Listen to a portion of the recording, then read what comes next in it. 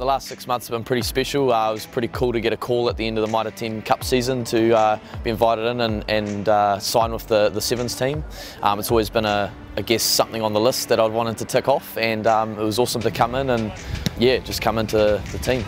I've always had a slight interest in it, um, coming up through school and with the Northland Sevens team when I joined that out of school it was quite, quite a fast and uh, energetic game and I guess it's a bit of something different to your usual 80 minutes slog out so yeah that really appealed to me and um, it was nice to be able to have that opportunity coming into it at the end of last year.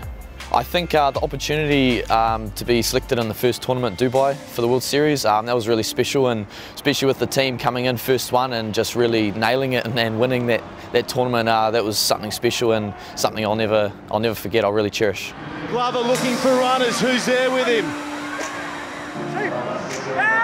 They get a good shot on here, New Zealand. They win the penalty. They win the game by the turnover of Scotty Gregory. It's just the back of a big effort from the team as a collective. Uh, about three minutes of defence and in a game of sevens it's a very long time and I think I was just lucky enough that the ball presented itself in front of me and me and Andrew Knewstubb uh, managed to get over it and, and grab the ball.